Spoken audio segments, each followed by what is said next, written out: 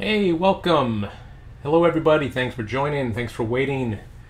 And uh, today's going to be a pretty cool live stream, I think, because it's a subject that a lot of people neglect or don't study as much as they should, which is drawing bodies, caricature bodies specifically. Now, the secret to drawing good caricature bodies, I think personally, is drawing good figure drawings, just realistic style. I mean, it's fairly straightforward. It's um, uh, when you study traditional figure drawing, you learn the importance of gesture, mannequin, mannequin, mannequinization, uh, which is idealizing of the forms, simplification, mapping out shadow patterns, and you get that from drawing from the live model. And uh, I've done that for years, and if you haven't ever done it, I I do suggest you definitely try it because the better you are at that, the better you're going to apply those skills, I think, to caricature. So um, during the uh, intro, you probably saw some of my uh, caricature practice sketch. I'm sorry, my figure drawing practice sketches that I've done over the years. Some of them were live, uh, you know, sorry, some of them were quick sketches. Some were like 20 minute drawings. Some were a little longer than that. And uh, I'll be going over the, be going over some of them more in detail. I'll be showing you them here in a minute. Um, let's see who all is in the chat today. Hey, Shiny, thanks for joining. Michael, hi. Max, hi. Hey, Patrick, welcome. Red, Keys, hello from Holland. All right, good to see you guys here. Uh, let me know what you think about this time period. Uh, I had to move it back just because I had an obligation earlier today, had an online thing I had to attend. Um, but if you like this time better, let me know. Uh, I've always been doing it at noon our time just because it just that's just what I settled on. But um, uh, I know just certain people around the world in different time zones might have a harder time watching it, but other people will have a better time. So but let me know in the votes. Also, I wanted to mention, um, you may have noticed uh, an ad playing at the beginning of my stream and some other streams if you've watched them in playback. So I was able recently to monetize my channel and turn ads on, uh, which is pretty cool because I've actually invested quite a lot in getting this set up to do live streaming in the springtime, and uh, it'd be nice to pay for that eventually somehow. um, so I've actually also turned on uh, super chat and stickers. So in the live chat, if you want to send me a sticker, that I, am not sure exactly how it works because this is kind of new to me. I've seen other streamers do it, but I believe a sticker will appear on screen and it'll be from you and it'll be like, hey, I'll give you a shout out. Um, also, if you want to do a highlighted comment and you can choose your level of donation, I guess, to the channel. Uh, and then if any comments are highlighted, we'll definitely take a look at you know addressing those live in real time. We don't always get to all the comments, so but if you do a highlighted comment, we'll notice it. And uh, anyway, that will also help me just provide you know get me more uh, ability to do better cameras and stuff in the future, like for doing oil painting and stuff. Right now, I just have two webcams. One's really good and one's really bad. I'd like to get like a second good one that I can like, aim at my palette, so it'll help me towards that end too. The more uh, money I can make on the channel. Although it's not the reason I'm doing this. I'm not doing this to make money. It just would be nice to, you know, pay for the stuff I've spent to enable to do it. I really just want to reach out to people and share my art, share my thoughts, and connect with people. It's really the main reason I'm doing it. Anyway, with that said, uh, everyone, welcome Debbie. She's here helping me. You can probably see her in the background here. Uh, she's going to watch for the comments too and help me out. Uh, anyway, let's go ahead and take a look at the uh, main screen here. All right, so, all right, let's see. We've got, hopefully that chat will show up here. The chat's supposed to populate the, uh, this window here, but I don't see it just yet. Hmm. Well, if it doesn't, well, we've still got the chat on the side. Okay. Well, let's just go ahead and get to business here. Uh, so these are some of my, uh, these are figure quick sketches from the live model that I did many years ago. And they're all probably, I'd say these are probably two minute sketches, maybe three minute sketches, where the model will just do a variety of dynamic poses. And the quick sketch teaches you probably more than anything else about figure drawing than any other type or length of sketch. The quick sketch, they're hard to do, um, but what you, what, what you want to do is you want to focus. You want to focus on gesture or the movement of the pose. That is king. That is key to figure drawing, is the gesture and that's basically the sweep of the pose from the head, from the spine down to the foot. You want to get that initial motion gesture in there, and we're going to be doing some of these, of course, live later on. I just wanted to show some examples of traditional figure drawings done uh, in that method with just two or three minutes available. And when you have that short amount of time, that's when you can really just focus on the most important aspects, which is the movement of the pose. When you have a little more time, like five minutes, 10 minutes, or 20 minutes, you could start to do uh, uh, more uh, anatomical things, uh, more shadow mapping, and I have some examples of those as well. Uh, these are actually, this is probably like a five minute quick sketch actually, where I'm just able to do a little bit more uh, shadow wise, a little bit with the edges. Uh, this was a fun one. This was actually probably like an hour, maybe even a two hour study. Um, but I actually did a caricature live study of this muscular guy that looks sort of like Tarzan. And I had a real good time doing this one. I, I almost never do live caricature body drawing, uh, but I should. You know, it's it's it's good to do. I think, uh, and he was a good subject for that, muscular wise. So I was able to refer to the actual real muscles and give it a lot of uh, realistic anatomy, and uh, but just stretch out the proportions, and it turned out pretty funny. I think. Uh, here's another one. This is I don't know. Again, probably this is probably a 20 minute uh, pose. 20 minutes are great uh, for doing figures because you can do the gesture, you can start to get some of the anatomy and proportions and some of the uh, shadows in, and then you don't fuss over it. You don't work it to death. You don't worry about details. And it's it's the I think the first 20 minutes is is probably the most important part in doing realistic finished figure drawings. Everything after that is just details. But the most important work is done in the first 20 minutes. Here's another one, another 20 minute pose. And these are just with charcoal on newsprint. Here's some cool dynamic poses. These are probably five minute warm up sketches, I think. I can usually tell because I usually fill up a page uh, for each model session, and the session's usually 20 minutes. And if there's four poses, that means we spend about five minutes on each pose. And if there's just one per page, it's usually like a 20 minute pose like this. I censored things a little bit for YouTube. You know, I blurred out some of the uh, adult bits so I wouldn't get banned or anything. uh, this one was a uh, another 20 minute figure study where I just had enough time to start thinking about the anatomy of a just focused on the anatomy of the leg, and then I ran out of time. So set goals for yourself when you have limited time. Figure out what you can do in that amount of time and how to get the most out of it. Here's another one that turned out all right. Pretty simple. Oh, and um, beyond just figure drawing you're going to actually when you're doing caricature work i'm sorry when you're doing yeah when you're doing illustration work you're almost always going to be drawing people with clothes on so it's good if you can get into a figure drawing class where they actually have the models wearing clothing because you can see the folds how the clothing hangs and uh, that's exceedingly important when doing illustration or fine art to understand how cl- clothing works because you almost will never be drawing nude people for your uh, uh, for your assignments and for your work uh, folds and drapery, that's a whole other subject. You know, I'm not really going to get into that today, uh, even though I will be drawing some clothing on people, but we're going to mostly focus on gesture and short sketches.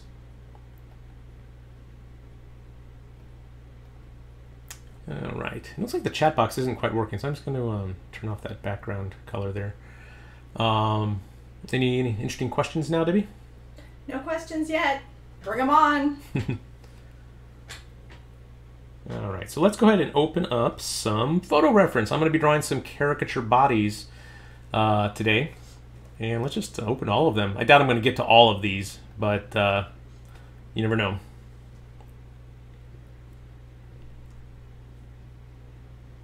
So what I what I like to look for when I'm looking for photo reference uh, of you know of these here just to practice, I like a good dynamic pose and interesting body proportions. So I tried to find people that had, you know, you know, I love group shots that show diversity in body types because that's always really fun to draw. And then really cool action poses that have a lot of motion in them are always really good practice to draw. Because when you're doing an illustration, you're always going to be drawing the subject in some sort of action because their body, their hands, their body language has to be telling a story. Are they running away from something? Are they scared? Are they fighting and mean? Are they happy and joyful? All that comes through not only with the face, but also with the position of the body and what the hands and rest of the body are doing. So, yeah, you need to definitely be able to capture the motion of a pose. So, a couple questions came in after that request. Cool. Um, let me see. Praveen is asking, will you ever do a live stream on drawing from imagination? Um, what do you think? Yeah, I that's that's a good suggestion. Write that one down. Um, right. Because you do often have to do that in your illustration work. Uh, oftentimes you will be under a time crunch or you won't have a really great photo reference to work from, or you don't want to take photo reference for every single figure in the composition and you may just have to invent a few. But that is definitely a skill to practice, figure invention. And it is based on knowing good human proportions, and having anatomical knowledge, understanding how clothing and folds work, because all that stuff is, if it's invented, it's really tough to do. Um, I almost always try to shoot my photo reference if I'm going for a high degree of realism. Uh, but when you don't, uh, it's yeah, it uh, it can be problematic if you're not studied up on that and have a lot of practice with it.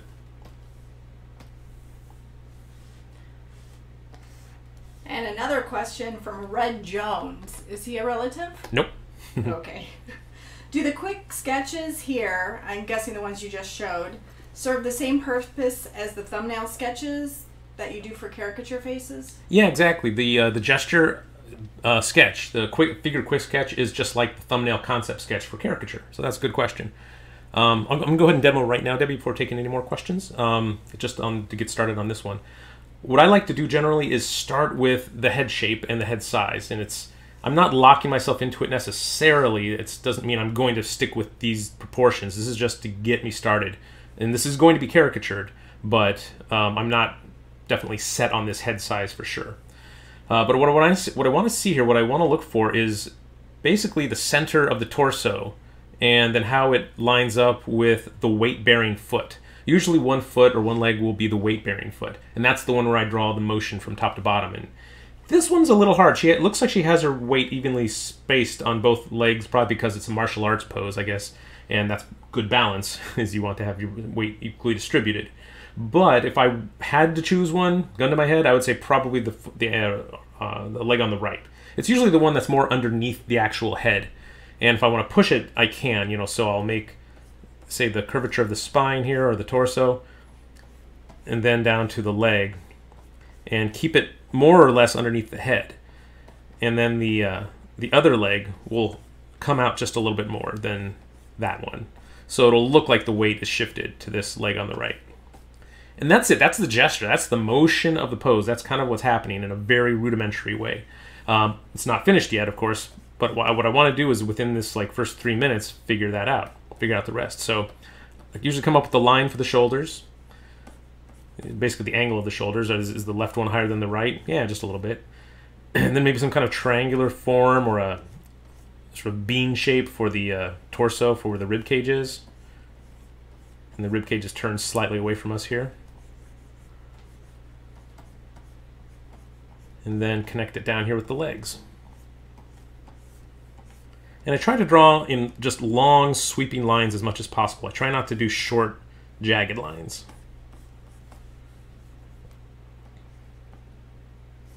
And then I look for shapes that overlap other shapes. I look for parallel shapes. I look for shapes that are, uh, uh, you know, horizontal or perfectly vertical. This uh, arm here is just slightly off vertical. It's a little bit angled, so I want to make sure I do that. Um, it's actually up a little bit higher. It's If I want to line it up exactly as it is in the photo, this arm, this hand needs to be rested a little bit higher if I'm going for more accuracy. Because of the angle of the sword, that all has to match. And the sword is more or less uh, perfectly horizontal. So the hand's going to be about here. That means the forearm is going to be about like so. Then the other arm's behind that, like so. So everything's just a gesture right now. It's not, I'm not worrying about anatomy. I'm not even really too much worried about proportions. I can fix that later. I just want to get the motion of the pose, the angles, the dynamic quality of the pose. Um, now I can maybe redo the head just a little bit based on, you know, a rough caricature idea of what I want. She has sort of a, to me, she has like a praying mantis shaped head because her eyes are really far apart. So, but this isn't about caricaturing the faces. That's just sort of what I would do there. And that's it. That's the gesture, the motion of the pose.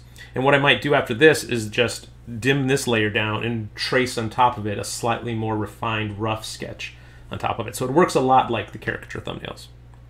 Anyway, let's move on to the next one. And if there's any questions, let me know.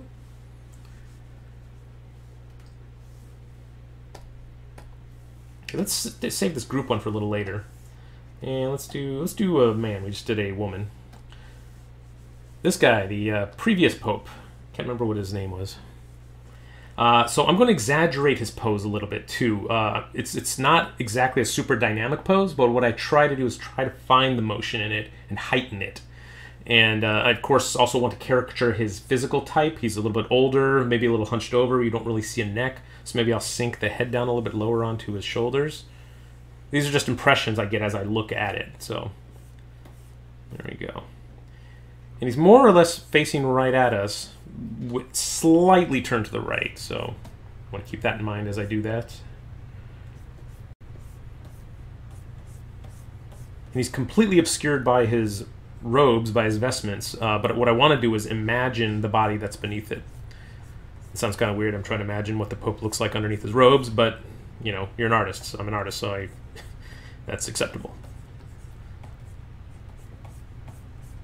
and trying to have fun with the body proportions. I don't really know if he's short or tall, honestly, but I'm just thinking maybe I'll make him sort of like, oh, what's coming to mind? That character from Despicable Me, the uh, Gru, is that his name?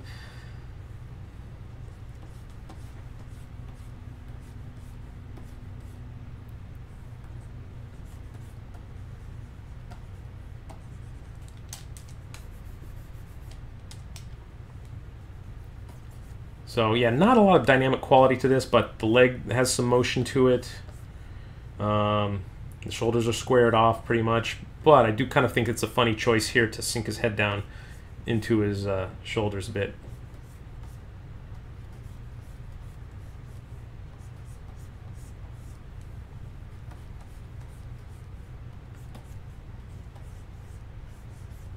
And I'm just trying to imagine his anatomy somewhat beneath here. So I'm imagining his rib cage, uh, where his, the line of his chest is, down to the pelvis.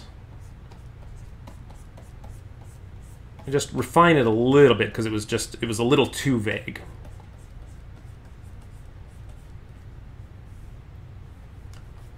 And then just so it kind of looks more popey, I'm going to just throw some of these, uh, you know, the clothing on in a real simplistic way. So the belt will be about here. And the skirt has a bit of motion in it. You can flare it out to the left here and take advantage of the motion of that to make the sketch a little more interesting. And this long scarf. Or the sash, I guess it is, hanging off of his belt.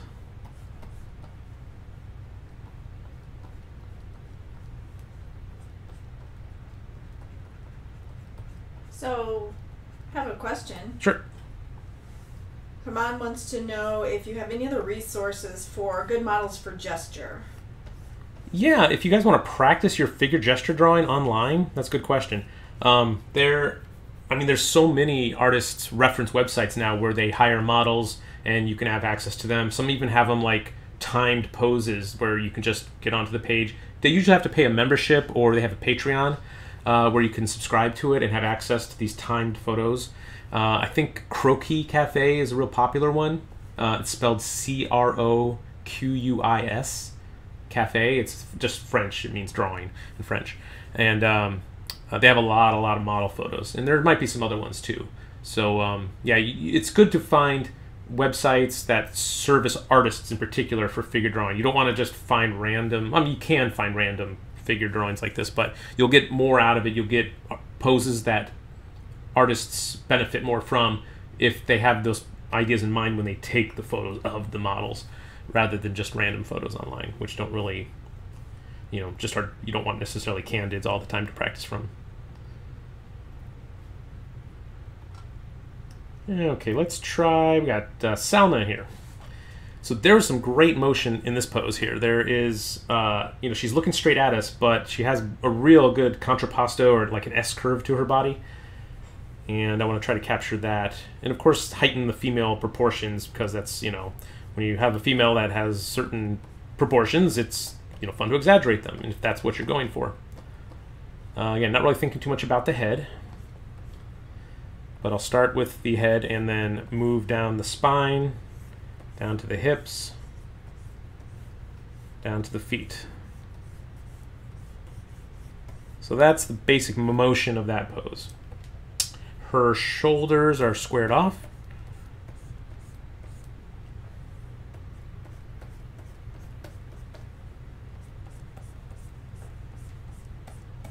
When doing a pose where there is a lot of bending or motion in it, remember that the concept of like squash and stretch. One side of the pose will be squashed and it'll be bunched up, the flesh and fat will be gathered up, and there'll be more like corners and curves. And then there'll be a flattened outside where the person is more stretched out and graceful looking. So on her, it's you know, there's the the rib cage as it meets the waist is going to be that sort of pinched or that squashed area, and the hip over here is going to be a little higher.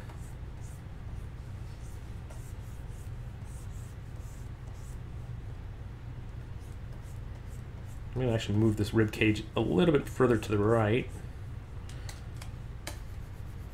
Because I noticed this, uh, the arm on the left, her right arm, is sort of resting on his this hip, and it's sort of sticking out a little bit. Whereas this arm is sort of behind her a little bit and more straight down.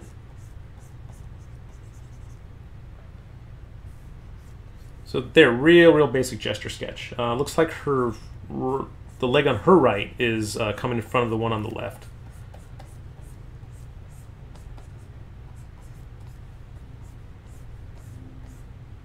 There we go.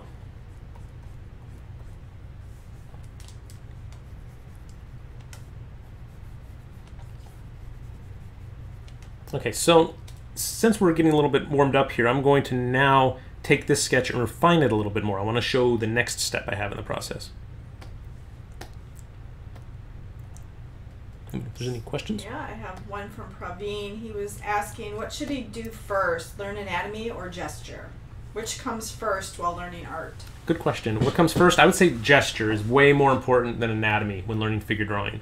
Uh, spend more time doing quick sketches. Don't worry about the anatomy or, or proportions until you're able to do good gesture drawings. I mean, you can learn them simultaneously. There's no reason to just learn one for just a year and then move on to anatomy, but uh, yeah, the, the, the gesture is the first step, and it's definitely the most critical.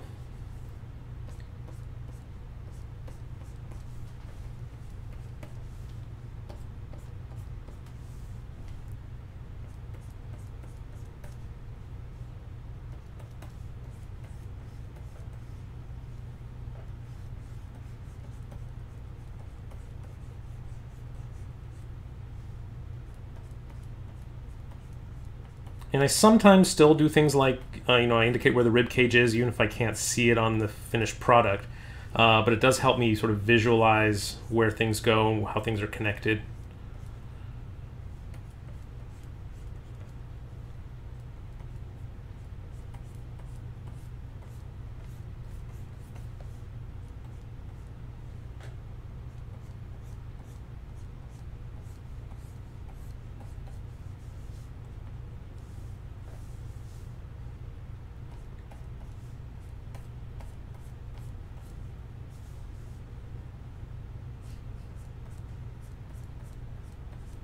Shiny really wants you to draw Nisi.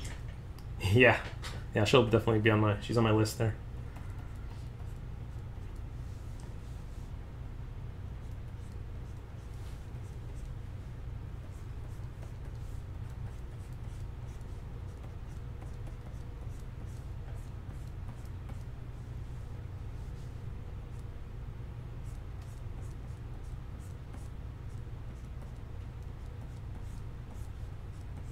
And right now I'm doing a real uh, simplified version of the human form. It's a bit of a mannequinized version, a slightly idealized. I don't really get involved in a lot of uh, anatomical reference points just yet, just the overall sense. Like if you're doing a clay sculpture, this is just like the first rough pass over that.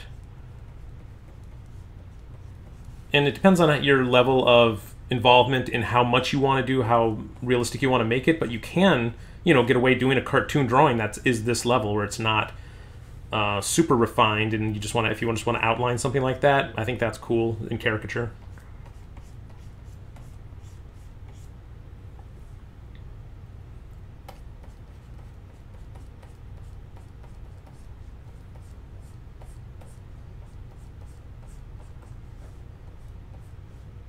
But I like to do this anatomy that's you know underneath the clothing to um, to figure out my exaggeration level, uh, to figure out how much I want to push things, and uh, it'll have that much more believability when you see the finished result. Uh, even if it is totally covered by clothing, it'll have you know there'll be bumps where they're supposed to be bumps like the kneecap you know distorts the dress and creates folds where the kneecap rests so you need to know where that is um, where the you know the great trochanter is on the hips where the iliac crest is because there's like again subtle shadow and plane changes that happen there uh, the, the obliques intersecting with the abs has a bit of a depression right here on, uh, on the other side of the torso so that comes from anatomical knowledge and working with the real human figure in a live situation and study of anatomy and muscles and bones.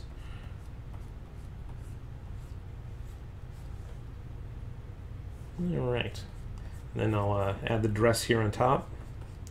That far foot is uh, hidden behind the dress, but the uh, front foot is peeking out just a little bit.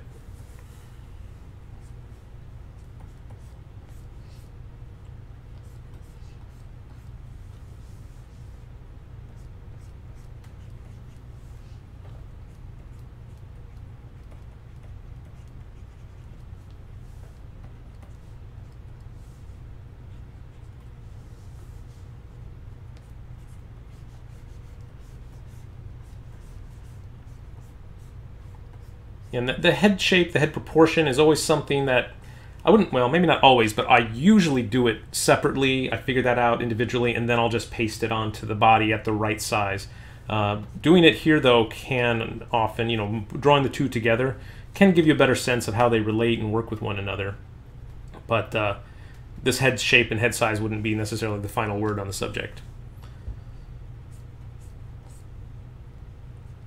All right, and just a few folds in the dress hanging down from the places where they'd be hanging off of the uh, tension points. That's the thing about clothing and folds is uh, the critical thing really is points of tension that where the fabric is uh, is all the folds will radiate out like radiate out from the elbow, from the shoulder, from the knee. Those where the, the, the folds will sort of converge and radiate out from. Uh, if you keep that in mind, that will help out a lot too. But then there's other things. There's like passive folds where the clothing bunches up and wrinkles just because it's being compressed, like on the bicep part of the arm or the back of the leg. And it's sort of like they're, I think they're called pipe folds. They wrap around a cylindrical object. So yeah, so folding, folds and drapery is definitely a whole other subject that could be studied. That sounds like a whole nother uh, stream. Yeah, a whole other stream. Add that to the list. Yep. Uh, let's see, I'll do Oprah later. Here's, here we go. Luke. Make him a little smaller. There we go. Here's a good action pose where it's kind of funny. I think he's honestly a little stiff in here. It's just a publicity shot. It's not actually true motion, but I'll try to heighten the motion and make it a little bit more uh, uh, exciting to draw.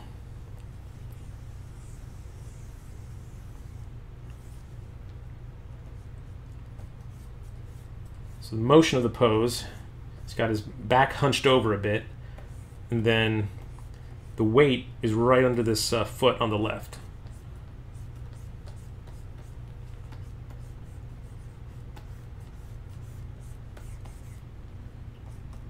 And this continues the line of the spine. This foot down here kind of trails off off to the right.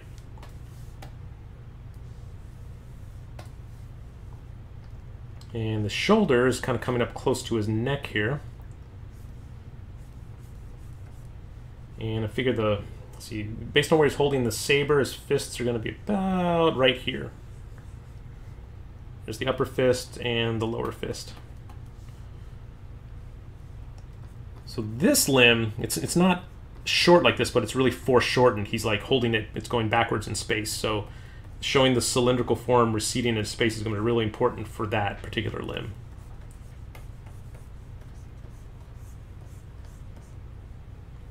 And then this elbow, I can see that beneath the uh, other arm, like so. And that's the basic gesture of this pose.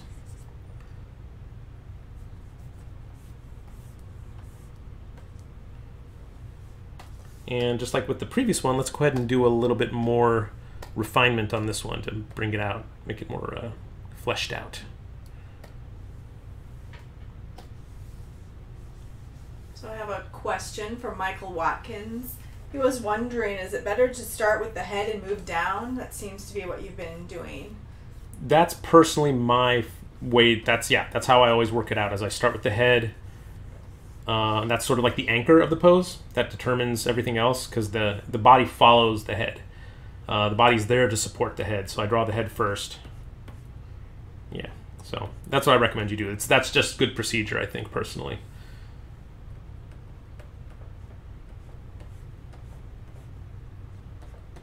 And Tercio has a question. Do you recommend the drapery course in the Watts Atelier website? Yeah, do I recommend the drapery course on Watts? For sure. Yeah. Uh, I mean, it's a complicated subject, and it's it'll be hard for me to go over in a live stream just in a short amount of time because there's so many different types of folds and draperies that uh, yeah, it, it, it bears its own. It definitely warrants its own um, subject. I think it would be a valuable course to take for sure. That's where I learned folds and draperies at Watts. Um, in lieu of that, though, there are um, there are books you can get on the subject. The only thing that kind of comes to mind is I think I think Andrew Loomis has some section on drapery in his uh, books. I can't remember which one. Maybe Creative Illustration, perhaps. I have, to, I have that book. I have to go check it out.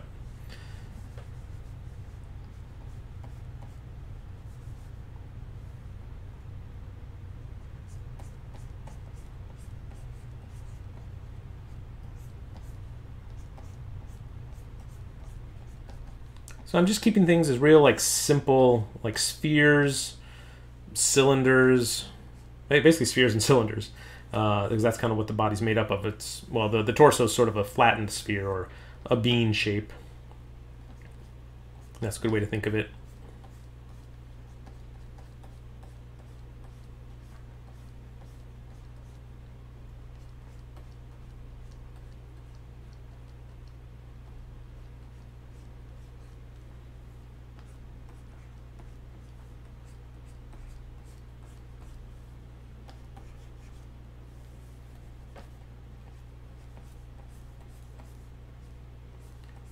Hopefully you can see how I'm exaggerating the pose here, making it more active, more energetic.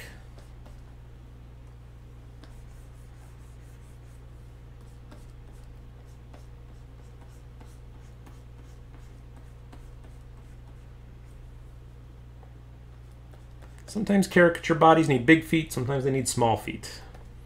Both can be funny, but it's good to alternate between the two and don't always do big feet for everybody, for instance, or don't always do small feet. I think because Luke is kind of gangly, Gook, Luke is uh, long and gangly and young in this picture. Uh, big feet kind of works well. It makes him look more sort of awkward, like he might trip over his own feet.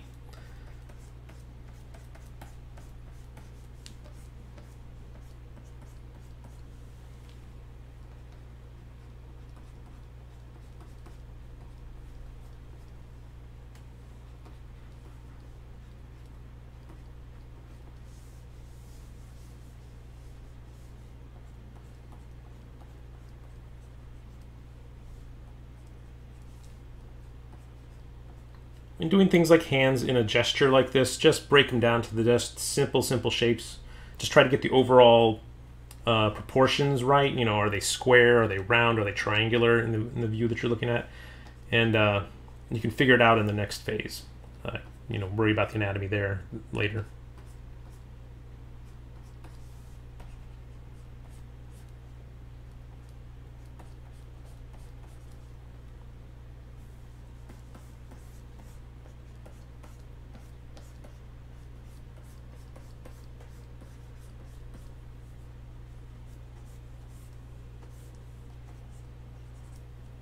Okay. Um, I don't think I need to do the clothing on this one. It's uh, he's sort of swimming in this shirt. It would kind of obscure all the figure underneath, but uh, I'll move on to the next one.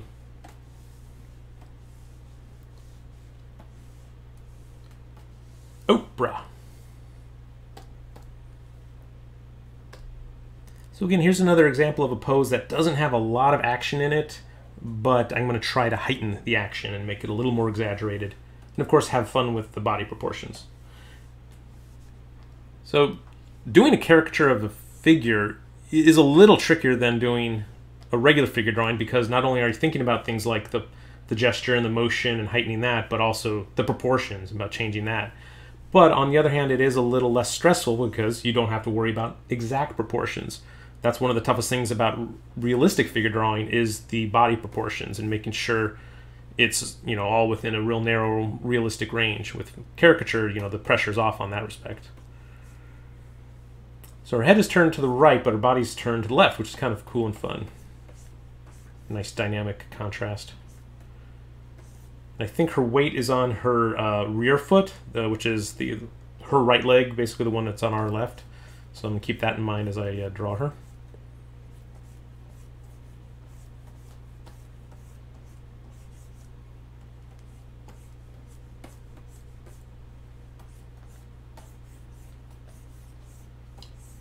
So it's kind of an interesting abstract shape I've created here, but yeah, this is the gesture of the pose here. And now let's add some limbs.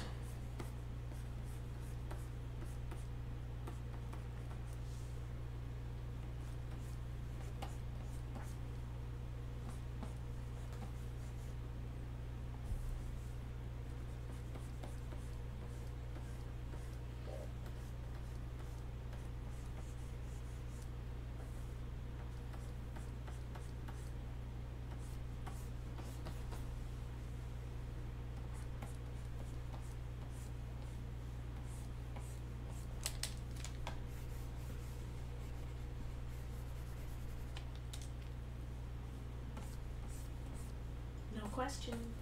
Cool. I think with her, tiny feet and tiny hands works better. It sort of highlights the the uh, the volume of her body mass a little bit more. Makes uh, the distinction more obvious. Okay, so that's the general pose right here in a very simplified way. Now let's do a tracing on top of that.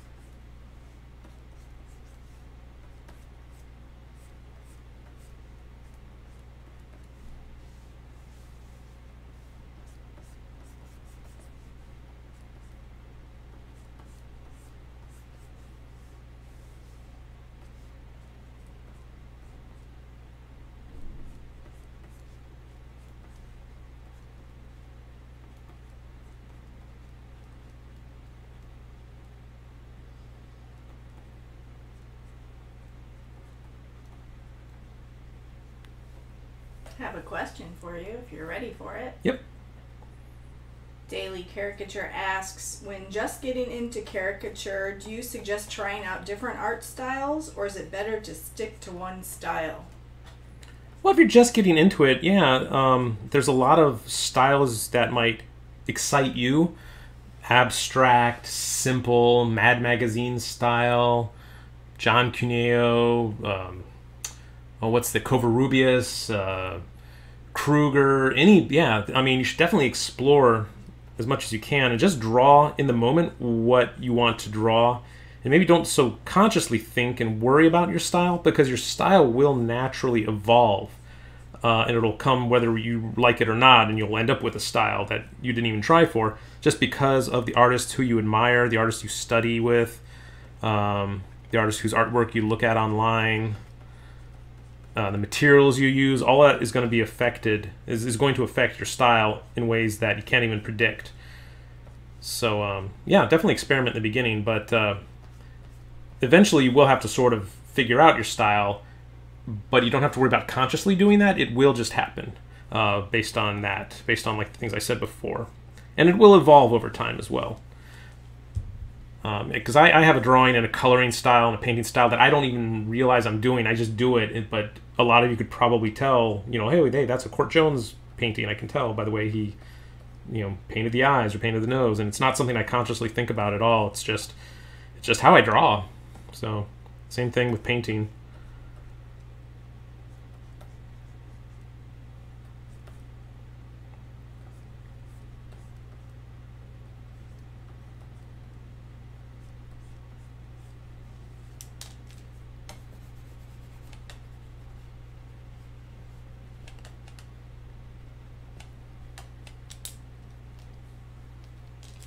have another one for you from Michael Watkins. Mm-hmm. He says it's hard to draw people with weight to them. How do you do that without offending? Uh, well, I'm doing it right now, and it may it may offend. So you can't honestly let that be a worry. You can't let it hold you back from doing what you think you need to do to be an honest and you know brutal caricature artist. I mean, I mean you don't have to be brutal. I mean that's just a I guess a style choice, but um, I mean, I don't I don't personally set out to make fun of people, but I want to capture the truth of their being. I want to people to recognize the silhouette of this figure and know who it is based on just my drawing choices. Um, and it may not be perfectly obvious right away, but the more that I put in, it will hopefully be more obvious. Like the hair might help. But um, yeah, so I mean, if you're in a live situation, that's a little bit different. If you're drawing people live at a party or an event, you know you do have to answer the people right in front of you. But again i you know these people know people know what they look like. Um, and they spend all their life maybe they even joke about how they look themselves oh i gotta lose that 50 pounds that i've got. You know i'm you know me personally i could lose some weight. So um, you know some people might be more touchy about it than others. You got if, if you're in a live situation you got to kind of read the room you got to read the person and sort of uh, you know figure out if they're cool with it and they know what caricature is and they're going to be okay with it you can let, usually let it rip, let it fly, and just not worry about it, and they'll enjoy it. Uh, I almost never have anyone complain or be angry at something I've drawn. And, and it's if if they do complain, it's usually something that I would never have guessed would make them upset. Like, oh, my earlobes, you drew them wrong. You know, it's just something odd that they are have a hangup about, and you're never going to be able to get second guess their hangups. So since you can't second guess their hangups, just draw what you want, and because you're never going to please them all the time anyway. But if it's in a situation where it's for your portfolio, for illustration, there's really no need to hold back. You should just draw people exactly the way you want to without any fear of repercussions because no, they're not going to ever come after you. Very rarely. I think one caricature artist who uh, drew a certain female comedian with a large nose and put it on her, his Instagram, he tagged her in it.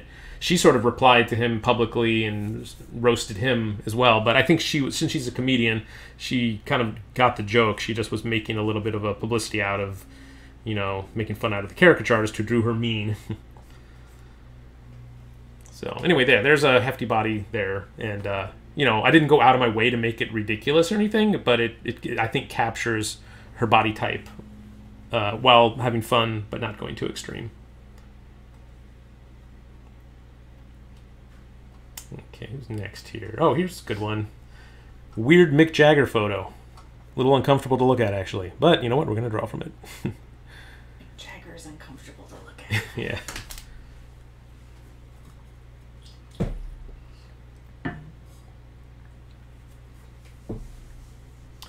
Oh, Keith asks, what about the stickers court? Yeah, you can, um, at the bottom of the chat window, there are, uh, uh, you can do either do uh, super chat or stickers if you click on the, the money sign, I guess if you want to add that to the stream or if you have a highlighted comment you want to make.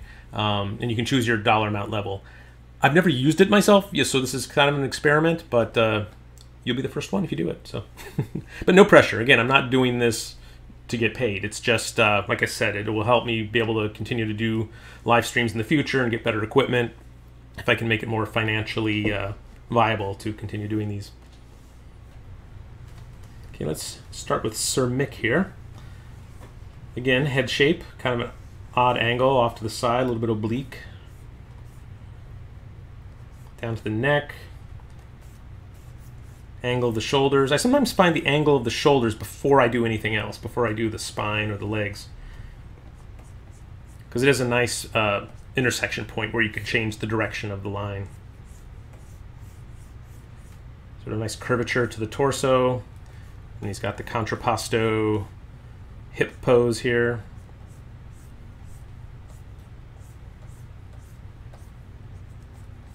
He's got a weird, weird body here. It's like very skinny, but also very barrel chested at the same time.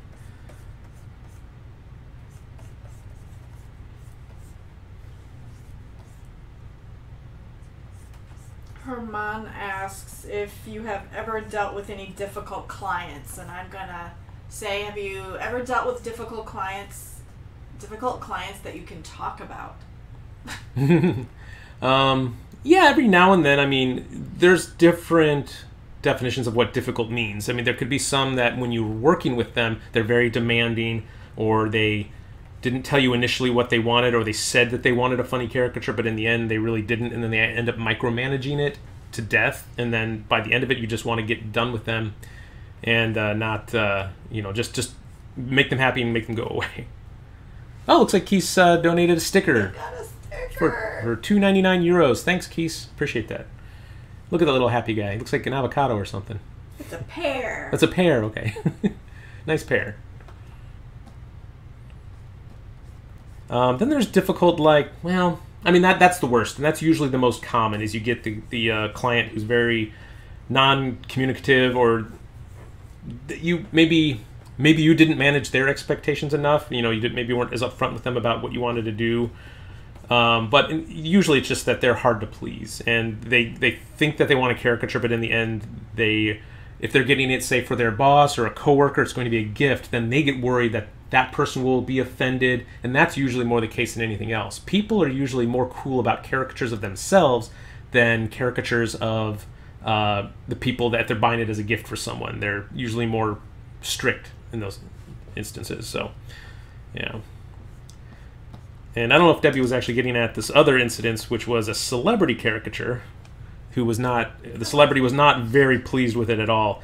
It was for an event, it was a famous comedian. Um, I won't say names, but uh, uh, the, he was going to perform at a college or something, and they wanted me to do caricature for uh, the publicity, for the signs, for the tickets, for the posters, and all that and and I did, and I had a real fun time doing a really exaggerated caricature of him because he's a famous comedian and you know is very well known for his appearance. And when he got on site and saw it, he was just furious and demanded everything with my image on it be taken down. He yelled at the people who organized it. He thought he was being ambushed or something. I don't know what was going through his mind, but yeah, he was not happy about it at all. The client loved it, and the client was easy to work with, but the the recipient well, he wasn't even really the recipient, but he was the subject of it and did not like it.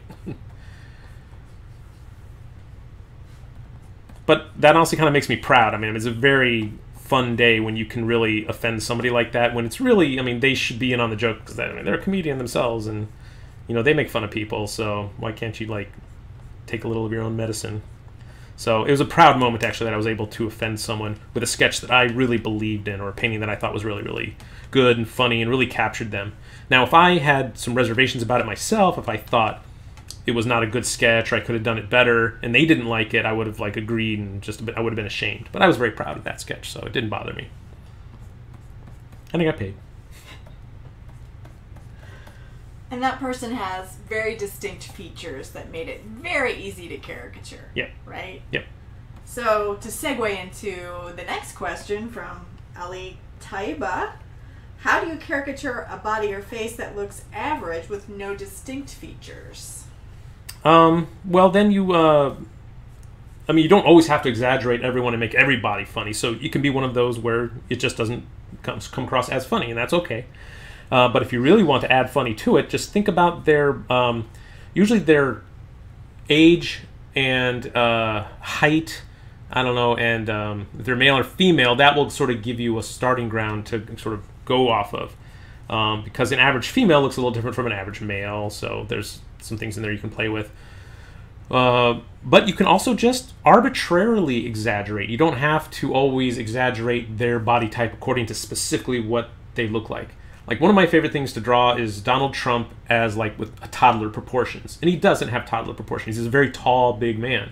Uh, but if you, I just, you know, I think it's funnier to draw him in a way that makes him look very infantile. So it's just an editorial statement I was making. So you can look at it that way too.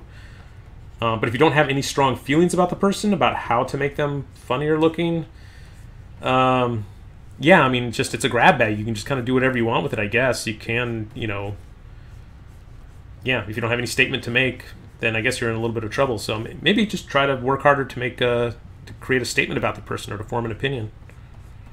So people are trying to guess who the comedian is, and a few people have asked if it's Cosby. uh, no.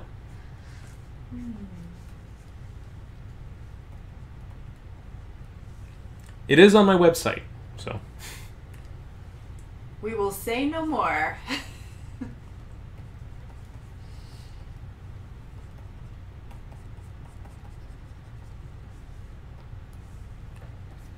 so he's wearing the world's tiniest shorts, and it looks like he has the world's biggest bulge here. So I think that's who knows if that's real, but you know that's something definitely to uh, include. You know, you can definitely make some fun of that in the caricature and highlight that area because obviously he wanted to highlight that area, and it's part of his persona.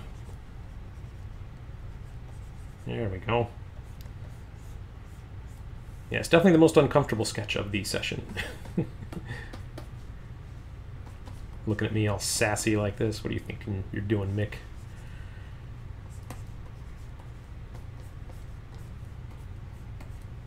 So Albert Garcia asks, how often do clients ask you to draw them in a situation where you need to draw their bodies? For example, riding a bike. Um, it's not very often. I don't do personally. I don't cater to the crowd that does a lot of um, body gag situations. I do more fine art caricature commissions for people, so I get around that. Uh, but I have done it. Like I've had uh, this one client who always has me draw his coworkers and family members. Comes to me every year or two with a new one, and I've drawn his these people on like you know motorcycles. I've drawn them fishing I've drawn them doing other things. And it's just you know you find the right photo reference and you do it. You know as long as you have enough time.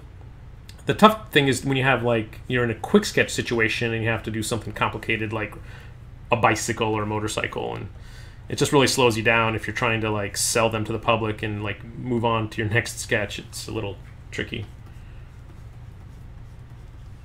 But yeah, anything you know, if you find the right photo reference, and it's photo reference has never been easier to find than it is these days with Google. You know, I feel bad for the illustrators of old who had to like clip things out of magazines whenever they saw them and keep them in a big filing cabinet and go search through them if they ever needed something particular.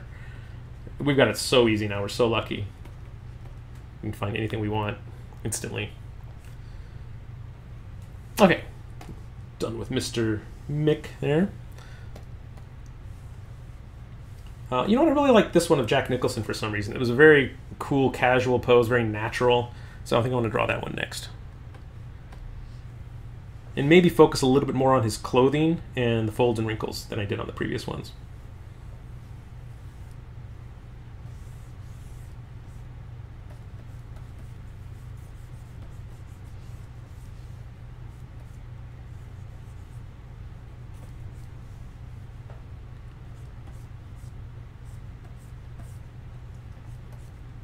So he's leaning back just a little bit, you know, puffing his chest out and stomach out a little bit, so that'll be some curvature to his uh, to his body pose there. If you have a hard time figuring out the gesture of the pose, just you know, take a guess, try to see what's beneath the clothing, look at where the lines are falling, look at the angles, and you can usually find some kind of movement in a pose.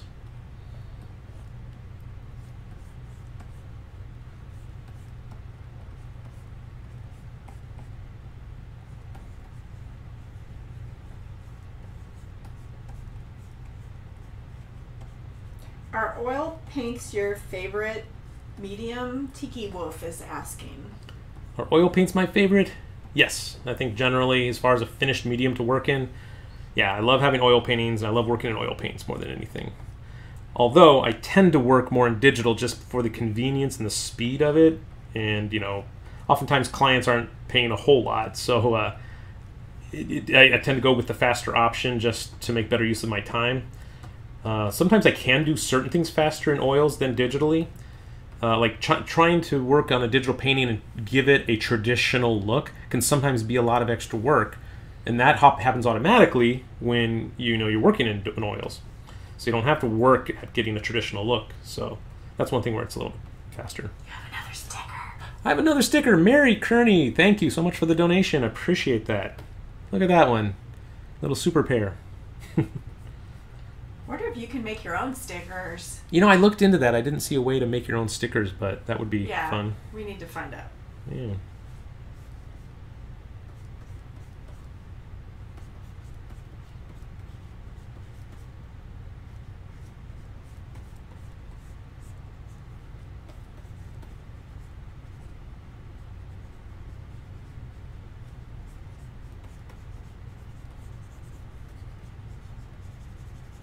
And not again, not really doing a caricature of his face, but I wanted to get something in there.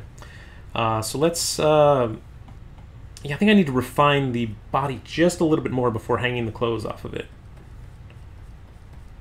So I'll draw his man boobs, his moobs,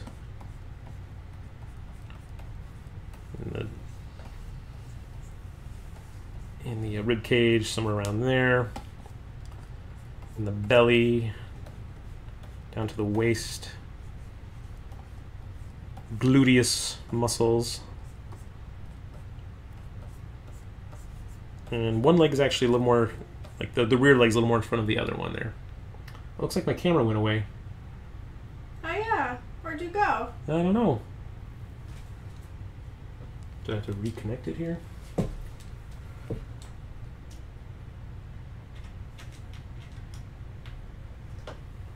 That brings it back. I Can still see your screen though. Yeah, it's just yeah, the camera just went out though. Nobody wants to see you. Yeah. um, I'll turn it off and back on. We'll see if that helps. Yeah. As long as you can still hear me, that's the important part. Let me check.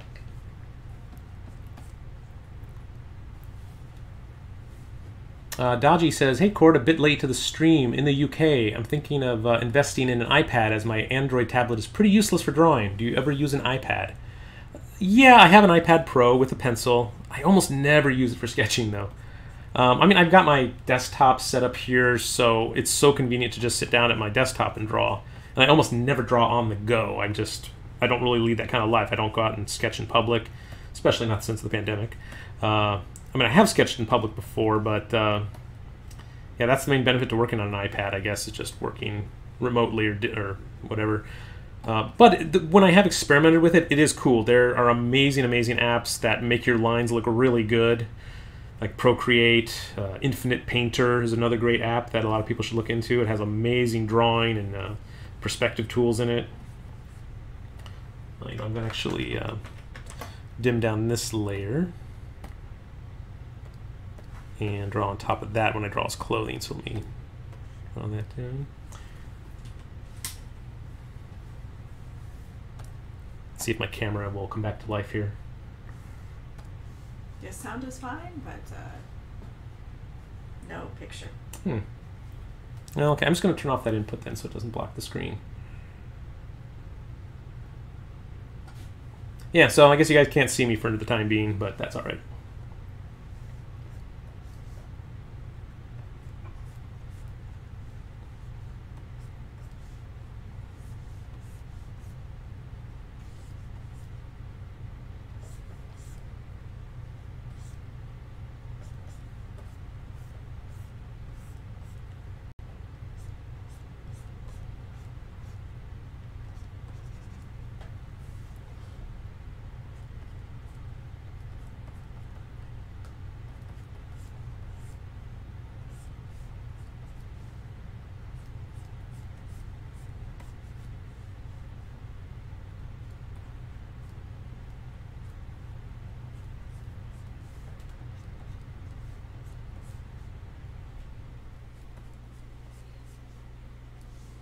Tiki Wolf asks, "What's your favorite natural medium app?"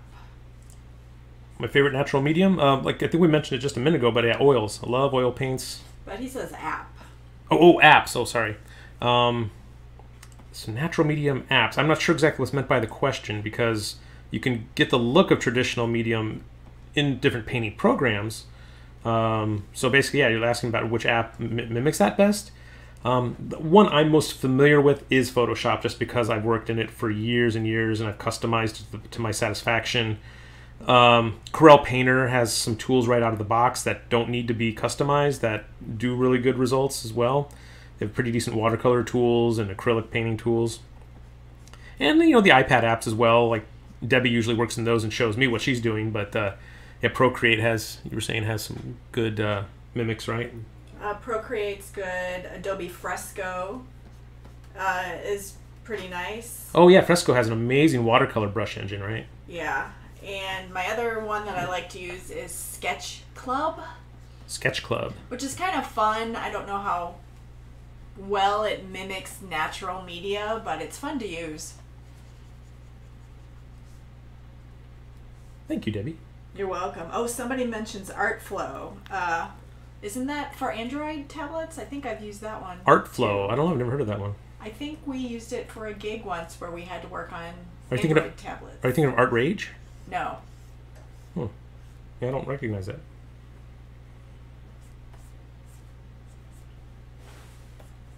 I'll ask.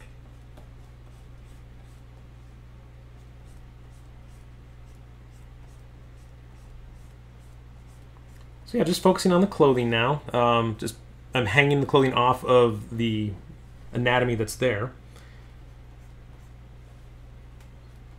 And I haven't done a whole lot regarding the folds and the draperies, but I plan to do just a little bit more.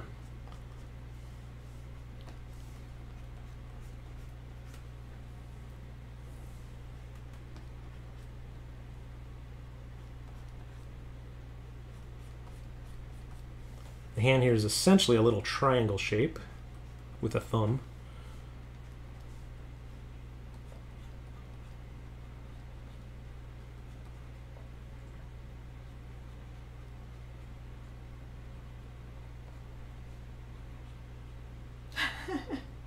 Somebody asked when I'm gonna host a live stream.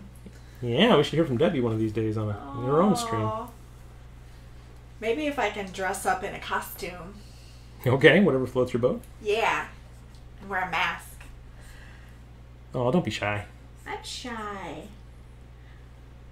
Uh, Ellie Taiba is asking how much time studying anatomy is sufficient before going into caricature? Ever? Probably never stop studying, right? Yeah, um, you never get good enough. You know, in art, there's no upper limit to how proficient you can get, honestly. So, um, I would say, you know, it helps to have at least a year or two under your belt of traditional training. But I mean, I started doing caricatures professionally before I got any formal art training at all. And it didn't hurt my caricatures, I don't think. I think I was a fine live quick sketch caricature artist for not having gone to art school or anything. I mean, I went to college and got an art degree, but it was, you know, they did not teach me how to draw or paint at that university. Um, and then I got my, that's why I got a job at SeaWorld because I didn't really uh, have any qualifications to do, I mean, I wasn't really qualified to be a professional working artist after graduating college. It wasn't until I went to the atelier uh, that I got the skills I needed.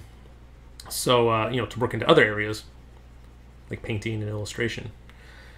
So, um, I mean, yeah, it depends on how much you put into it. You get out of it what you put in. Um, you know, you can study really hard for a year, or you can study anatomy and figure drawing very casually for 10 years and achieve the same amount of progress. So it depends on how ambitious and focused you are and how well you pick things up. Everyone can learns at different rates. Um, and it's not a bad thing. It's just how some people work. You know, I personally think I'm a pretty slow learner. I went to the atelier for 10 years, and I taught at the atelier at during that time for almost that entire time. Um, but I focused my teaching on what I knew best, and I continued my studies on what I was weak in.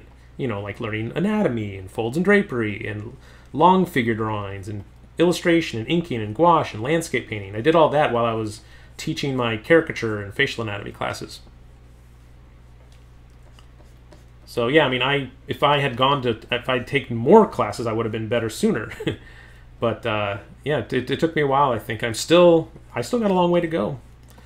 Uh, definitely not as good as I want to be. So it's just a matter of how much time you want to put into it and how many resources you can de- devote to it, how much time per week you can practice. and if you can get with a good teacher who will actually look over your shoulder and say, "Oh, hey, yeah, you're doing it wrong. Here, let me show you how to do it." That was the great thing about good atelier training is that, you know, that uh, competent uh, teacher looking over your shoulder and showing you how to do it.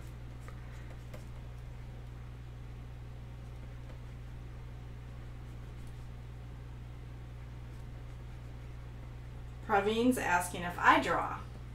Yes, you want to answer that?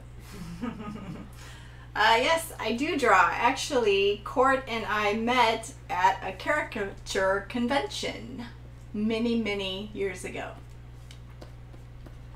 So the answer is yes. Yeah, she and I started in theme parks the same year, back in the mid 90s, and we've been drawing just as long. She actually is drawing a little bit longer than me professionally. um, we didn't know each other at that time, uh, but yeah, we met through the Caricature Artist Organization.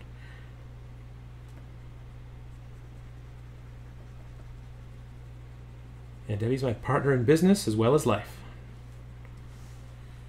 Partner in crime. Okay, enough time spent on Mr. Jack here. Oh, got his sunglasses here. I don't want to forget those. Did you do Niecy yet? Nope, I'm working my way towards that group sketch. I love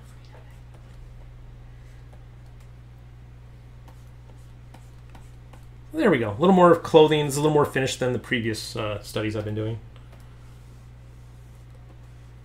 Uh, let's see. Let's go ahead and start on the Reno drawing, I guess, because there's a whole group of people, and this may take me the rest of the time.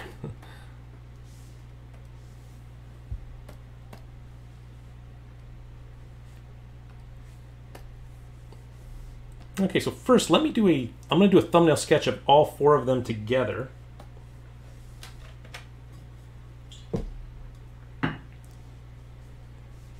Let's see. Let's go off the relative heights first. We've got. Uh, is that Deputy Jones? Was that his name? Is that Deputy Jones, Yeah. Lieutenant Lieutenant Lieutenant Dangle, Dangle? Yeah, a little shorter. Niecy, and I can't remember her character's name. Was it Trudy? No, Trudy was the uh, short-haired girl. She was the one. She had like an um, Native American name, Birdsong, maybe. Is it Birdsong? I don't know. I'm gonna find. If you guys remember the Reno 911 characters' names, let me know.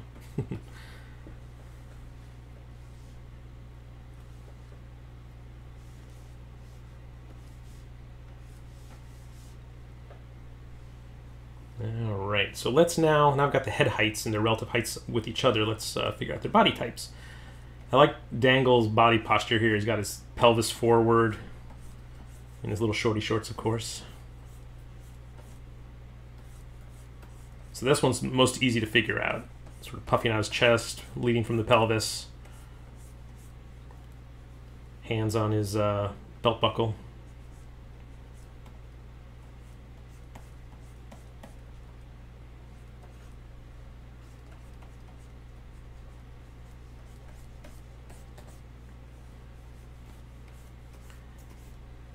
And uh, him on the left here is God. What was his character's name?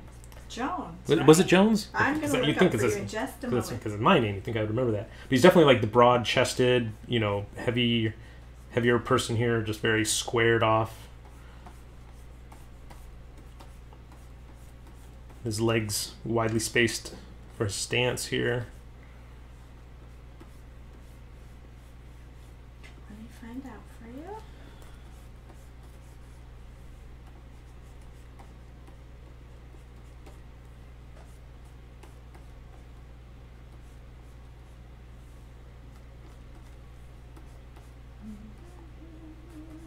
And note how I just reduce these things to the just their simplest constituent forms when I'm doing this gesture drawing. I'm not really hung up on anything just yet. It's not uh, critical to get anything perfect yet. The main thing I'm focused on is just the masses and the posture and movement of each pose. You were correct. It's Deputy Jones. Deputy Jones. And I was also correct. It's Deputy Deputy. Uh, wait. Birdsong was her actual name. Oh, okay. So I'm not right on that one. The actress is Mary Birdsong. Oh, okay. What was her character name?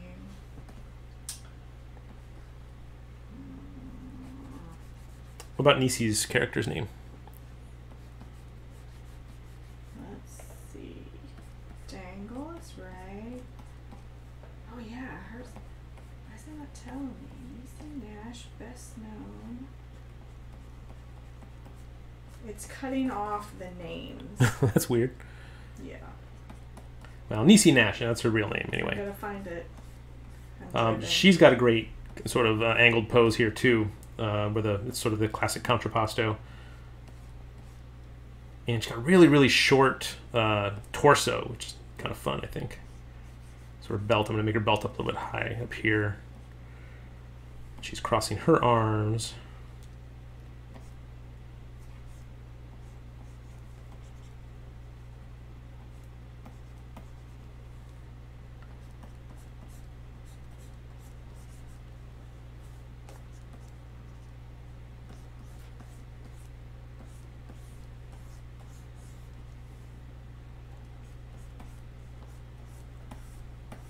Caricature her hips a little more than that. There we go.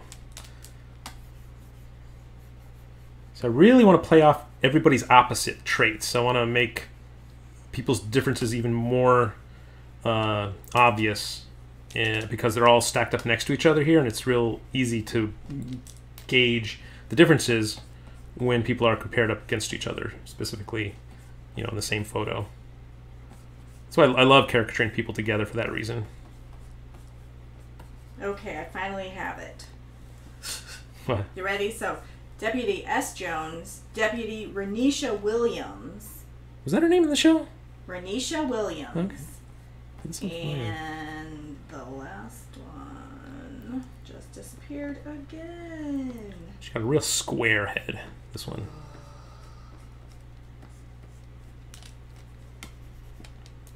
She's not quite as tall as Dangle. Actually, let me uh, lower her head a little bit.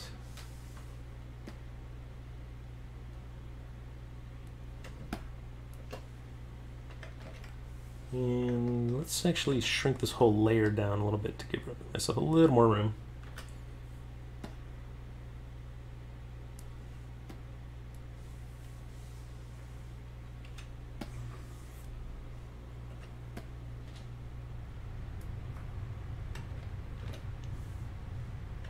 And Mary Birdsong played Deputy Teresa Kimball. Dep- Deputy Kimball, okay. Deputy Kimball. So now we have names Kimball, Jones. Cool. So she has cool angle to her shoulders here. And she's closer to uh, the pose that Dangle has in his, you know, hands on hips a little bit, puffing out the chest.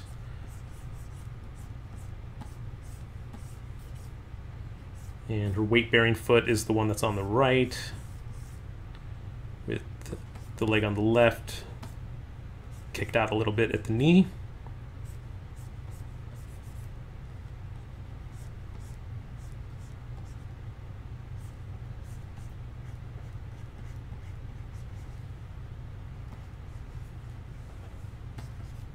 There we go. So the gesture for all four of those. And um, yeah, let me flesh it out just a little bit more. I'm not going to necessarily do all their clothing, but I would like to bring it up to a slightly higher level of finish.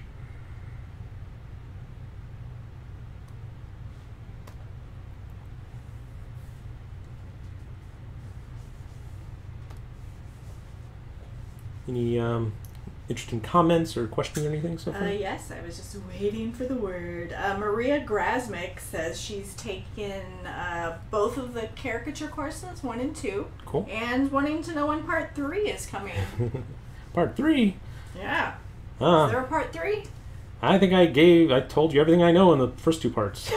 What?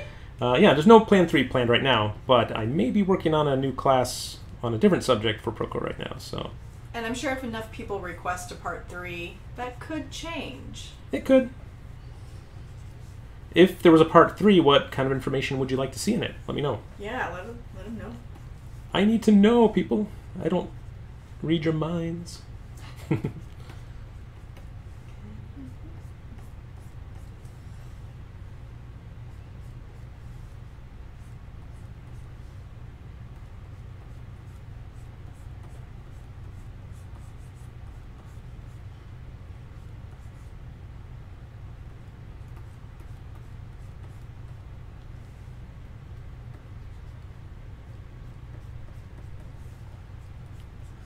Yeah. Well, oh, sorry. Go ahead. I was just going to say, if you want to see some great group caricature compositions uh, by a master, look at some of David O'Keefe's artwork. He does a lot of uh, like group caricatures of people from like movies like The Godfather and Caddyshack and some other ones, and he has an amazing way of uh, making everybody's body and their silhouette and their body mass look very different from each other. Um, really, really funny stuff. David O'Keefe. What were you going to say, Debbie? I was just asking, what is your Instagram handle again? Mine? Yeah. Uh, I'm on Instagram. I'm at uh, at Court Jones Artist. I'm putting it in the comments.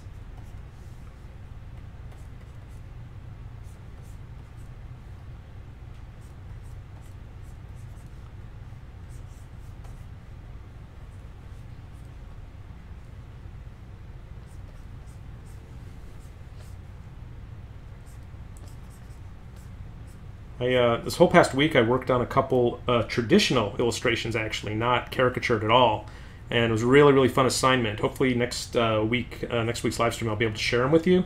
Um, I just got to get the word from the client if it's okay. But uh, yeah, there's some bodies in there and some action, and uh, it's a pretty fun subject. It's kind of nice to do a traditional illustration for once. I haven't done many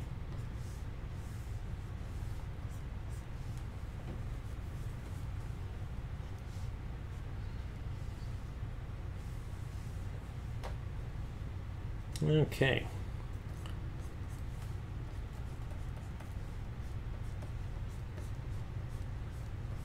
Thomas Lennon, one of the funniest guys in Hollywood. Does a lot of screenwriting too.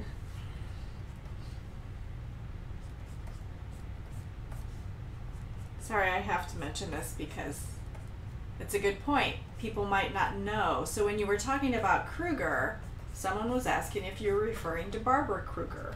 Barbara Kruger? No, I don't even know that name. Uh, I was re- referring to Sebastian Kruger, the master caricaturist. But I'm going to have to look up this Barbara Kruger now. I can do that. Is that the actress? There is an actress that's. There's Diane Kruger, is the actress I know, but. Well, I made a dangle here a little short. Ah. Barbara Kruger is an American conceptual artist and collagist. Collagist. Started. Been around for a while, born in 45. Oh, okay. have to look into her. Interesting.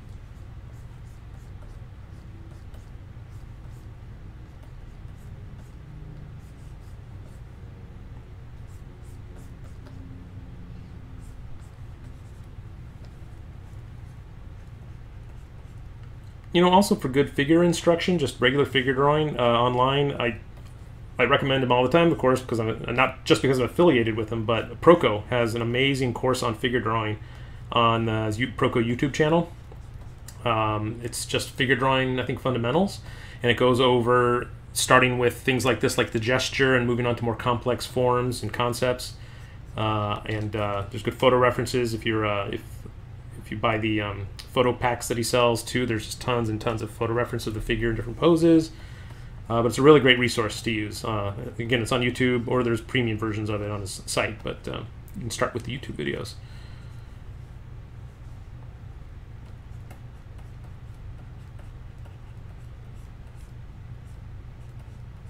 So in the chat we have uh, a little discussion going on about caricatures, kind of. Um, Tiki Wolf actually said he worked drawing caricatures at Universal with Lee Harvin. Lee Harvin, okay. Do you know who that is? Or No, I don't know if I know who that is. He said it was a while ago. So, um, but someone else is asking if the way we do caricatures is similar. But you learned at Commons. Yeah, I'm a Commons trained person, and Debbie was trained. Whoops. Debbie was trained by uh, Tom Richmond. And the way we learned is that you start with the eyes because the eyes were the most important thing. And if you didn't get the eyes, then you probably would not get a likeness.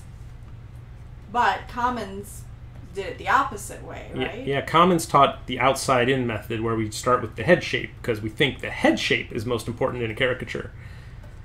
Uh, so, yeah, Debbie and I sort of have uh, different backgrounds in that. but we agree to disagree. um, personally, I just I'm it fits in with my philosophy overall of drawing, like which is like when I'm drawing the figure here, I don't start with say the left elbow. I don't start with the detail. I start with the big shapes first, and then I whittle it down and get it more specific as time goes on. So um, that method of caricature drawing suits me really well because it fits in with my traditional training. But I think in a live setting too, sometimes it's good to mix it up hmm and maybe start from the opposite of where you usually start.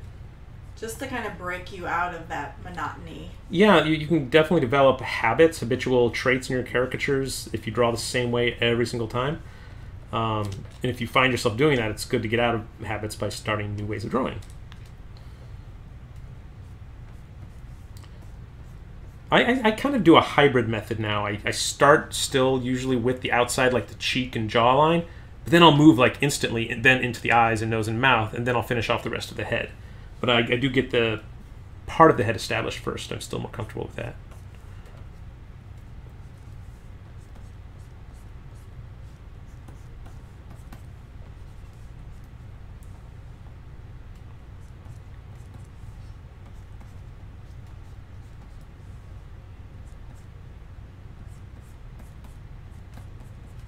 So again, this is the stage that I would kind of call the mannequinization of the figure that I'm drawing on top of the gesture.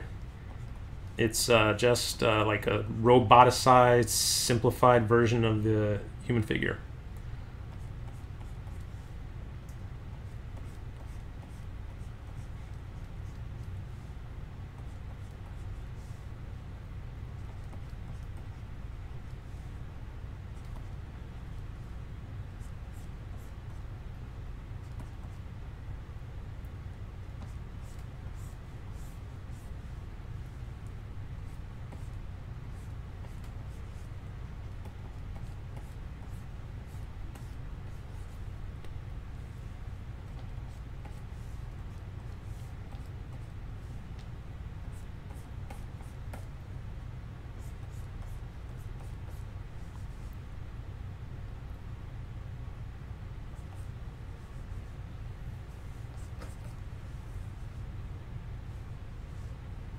You see? Praveen's comment? Where can they follow you?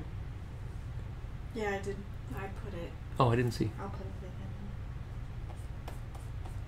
Yeah, if any of you guys want to follow Debbie on uh, her Instagram, it's Debbie Does Drawings. And those of you who know, know, and those of you who don't know what that refers to, that's fine.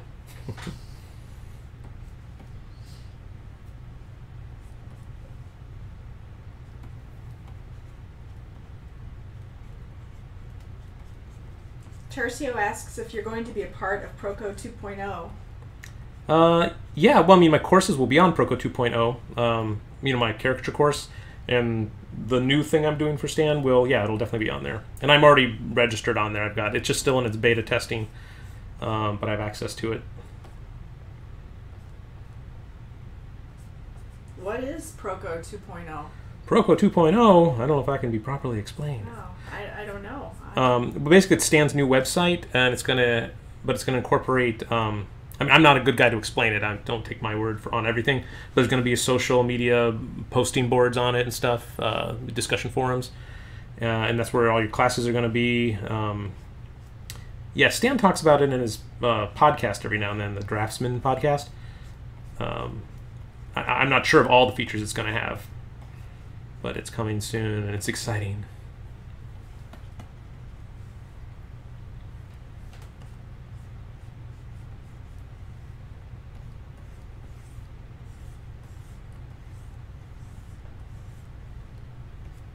She's the only one with a hat on, so let's draw her hat.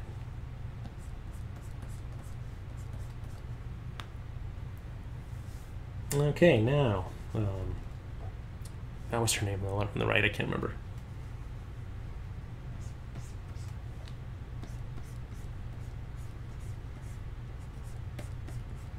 She's got like a bucket-shaped head.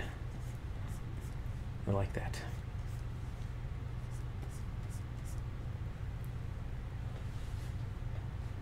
Yeah, Mary knows what's up. I've only been to Dallas once, and I did not draw or do anything. but I only do drawings. Yeah. Nothing else.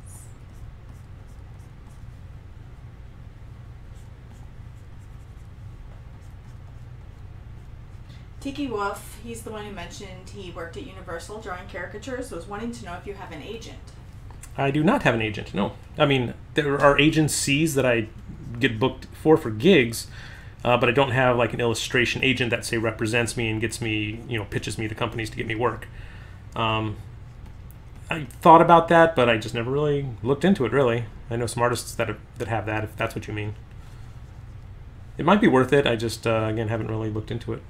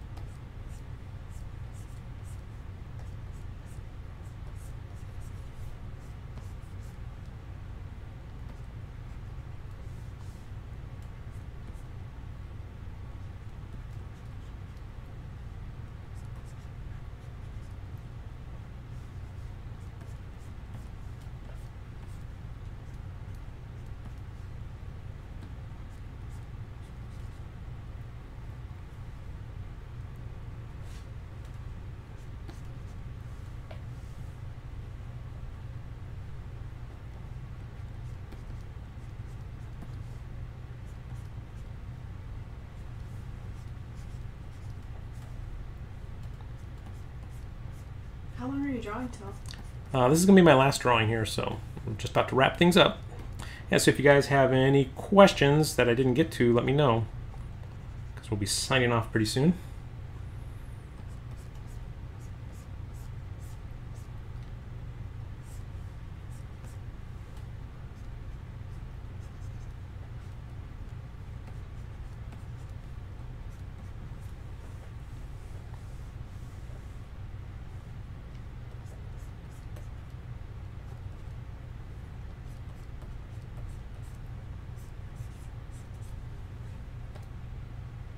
Okay, so there's the finished drawing there without the uh, sketches underneath.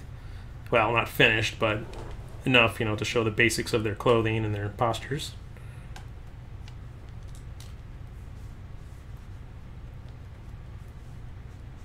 Did you draw each character on a different layer? I did not. They're all on the same layer. Uh, more for the sake of speed. I mean, I, I might have drawn them if I was just working alone on their own individual layers, but uh, yeah, that was just for this particular stream. I just did them all on one layer. That was a question from Buffado. Interesting screen name. Butch Curry is asking, any plans to do an oil painting live stream? Yes, I am working up towards it. Um, but uh, yeah, like I said, I, I would love to have a better camera to record, like, say, the palette. Because right now my other webcam uh, is not very good at reproducing colors and stuff. But uh, yeah, so it's definitely something I plan to do, and I want to make sure that I do it right. Um, and I, I, do have to do quite a bit of preparation for that too. I need to make sure, you know, it's a caricature that's really refined. I've got everything figured out. You know, it's the drawing's really solid.